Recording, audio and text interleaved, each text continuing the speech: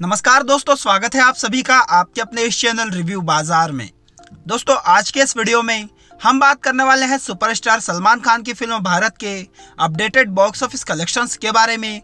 इसी के साथ दोस्तों, हम लोग जानने वाले हैं गेम ओवर का box office collection film De De Pyaar De का बॉक्स ऑफ़िस कलेक्शन और इस हफ़्ते रिलीज़ होने वाली much awaited film Kabir Singh का एडवांस बॉक्स ऑफ़िस रिपोर्ट और दोस्तों, इस फ़िल्म का first day box office production तो चलिए दोस्तों, शुरुआत करते हैं, देखते रहिएगा पूरा वीडियो तो दोस्तों, सबसे पहले हम लोग यहाँ पर बात कर लेते हैं गेम और फ़िल्म के बॉक्स ऑफ़िस कलेक्शंस के बारे में, जो कि एक एक्शन थ्रिलर हॉरर फ़िल्म है।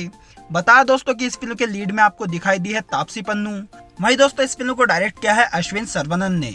बॉक्स ऑफ़िस कलेक्शंस की बात की जाए तो दोस्तों, इस फ़िल्म को ऑल ओवर इंडिया में लगभग 1100 स्क्रीन पर रिलीज़ किया गया था, और इस फ़िल्म ने अपने पहले दिन ऑल ओवर इंडिया से कमाए थे लगभग दो करोड़ रुपए।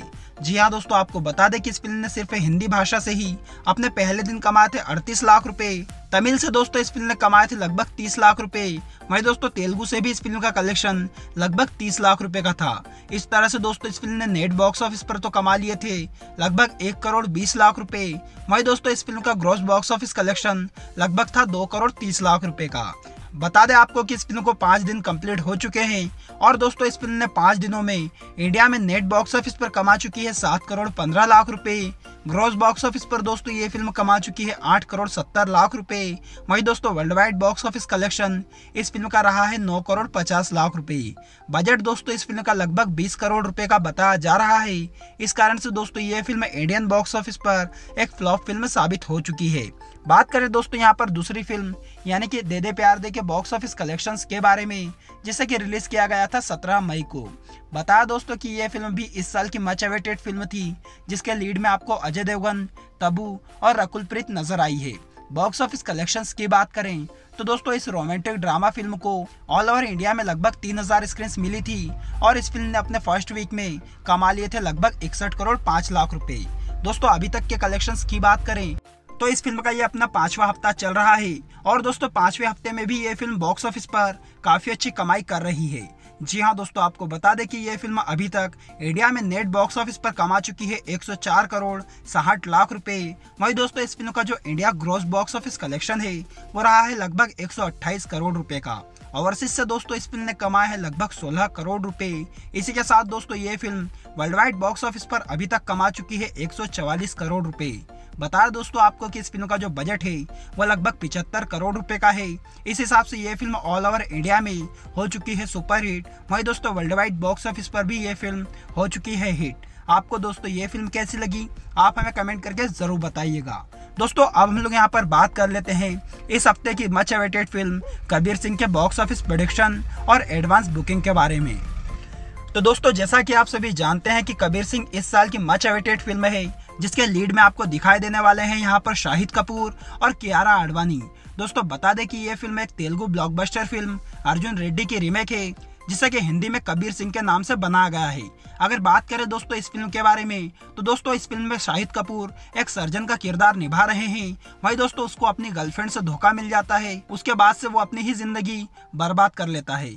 तो दोस्तों, इस कहानी के ऊपर यह फ़िल्म बनाई जा रही है, जिसे कि रिलीज़ किया जा रहा है 21 जून को। बता दें दोस्तों, आपको कि इस फ़िल्म की एडवांस बुकिंग दो या तीन दिन पहले ही शुरू की गई है, और दोस्तों, इस फ़िल्म को लेकर यूथ के बीच में काफ़ी अच्छा बस देखने को मिल रहा है। जी हाँ दोस्तों, आपको बता दें कि इस फ़िल्म ने अभी तक एडवांस बुकिंग से कमा चुकी है साढ़े चार करोड़ रुपए, जो कि शाहिद कपूर की किसी भी फ़िल्म के लिए काफ़ी अच्छी एडवांस बुकिंग है। वही दोस्तों, बात करें इस फ़िल्म के first day box office collection के बारे में तो दोस्तों, इस फ़िल्म को ऑल ओवर इंडिया में लगभग 2800 से 3000 स्क्रीन मिल रही है। इसका मतलब यही है दोस्तों कि यह फ़िल्म अपने पहले ही दिन बॉक्स ऑफ़िस पर कमाने वाली है चौदह से पंद्रह करोड़ रुपए।